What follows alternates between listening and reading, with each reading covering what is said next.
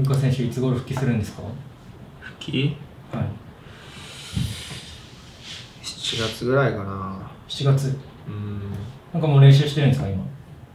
練習はまあ筋トレとあとは唾液の練習ぐらいで。寝技とスパーリングができないんだよね。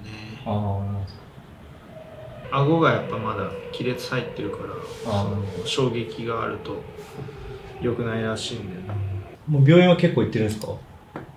病院はだけど骨の経過を見るからは1ヶ月に一度レントゲンを取りに行くのともう一つはあの神経のはい。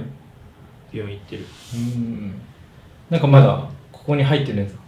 プレート的なプレートはねい入ってるんだけど、うん。その殴られた時にさこっちからガーンってやられた時に顎がこうずれてはい。ここの神経が伸びて、まあ切れてはいないらしいんだけど伸びて、あの損傷したんだよね。うん。それでここの今感覚がなくて、はい。完全麻痺ってる状態で。それもう7月にはもう完全に回復するってことなんですか？神経も話しっかり戻るんですかね？だと分からなくて。はい。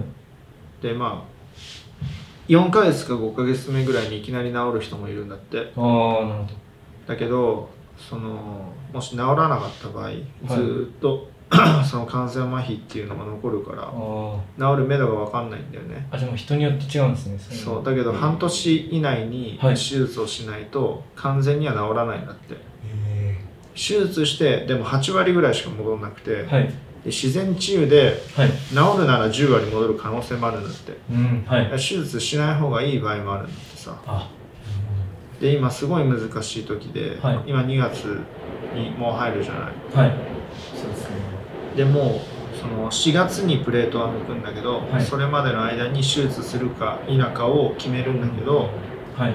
もしかしたらその間に突然治る場合可能性もあるっていうからああなるほど。その手術の時になってみないとわかんない。そうわからないんだけどもし手術をするとしたら、はい。骨の中に神経って入っててはい。手術を、あの神経をつなげるってなると顎を一回外さなきゃいけないの骨をまた一回開いて、はい。中でつなぐ手術をしてまた入れるの。っていうことははい。また骨が割れてる状態になるから半年またかかるんだよね、うわ。でそうなると半年間6ヶ月間っていうと10月ぐらいうん。まではスパーリングもできないし寝技もできないから、そのい1年間だよね。1年間寝技もはい。スパーリングもできないって状態が続くから、うんそうするとやっぱちょっと不安だよね。そうですね。ただ今冷たさもあったかさも感じないから全く。あ食べ物ですか？そうここの部分だけ。他のところは感じるからあ、はい。暑いなって感じるんだけどここにあのーその検査でねこのはい。冷たいのと熱いので確かめる検査があるんだけど、はい。い、くらやっても全然感じないしあのちょっと鋭利な鋭利と言ったらあれだけど、ちょっと痛みを感じたら教えてくださいってやつツンツンやっても全然感じないし、もう完全に麻痺っていう状態だよね。ただそのはい。奥に歯茎に刺して電流を流す検査があって、それだとちょっと出るのよ波が。はい。完全に切れてはないんじゃないかっていうことだから余計難しくて。そうですね。完全に切れてる判断だったらもう繋がなきゃいけないからはい。開かなきゃいけないと思うんだけど。それが本当にちょっと今難しいし、はい。あの結構苦しいというか悩んでるとこだね。まあこればっかりはしょうがないけどね、うん、ここメス入れるってことなんですか？そうどっちにしてもそう中からやるんだけど、どっちにしてもプレート取るときはやるから、あじゃあもう絶対やるんですね絶対に1回はやるけど全身麻酔だからそんなに。うん。しかも痛いのってはい。一瞬じゃん。そそうですね。僕も一回ここを開いたことあります。あそれは痛そう。なんか野球やってたんですけどあのボールのバウンドでえー。ここガンってなって。うわ痛ってこれ八重はこっちにあるんですけどこっちにないんですよ。顔面骨折や。はい。うわはいこっちに鼻腔に入っちゃって。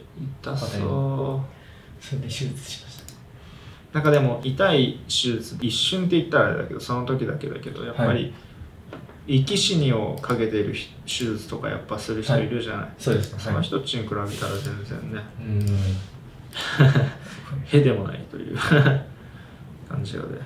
結構手術終わりとかまた腫れますよね顔。腫れるでしょうきっと。うん。腫れるしちょっとなんかね窮屈になるとは思うけど。はい。本当去年は結構、怪我に見舞われたって感じですよね。そうだね。苦しい状態が結構続いた。年だね。苦しい時は続いたからこそなんかこう明確に分かったというか、うん。人に支えられてるっていうのがよく明確に分かった時期だったね。感謝の気持ちが強くなって2019ですね。なるほど。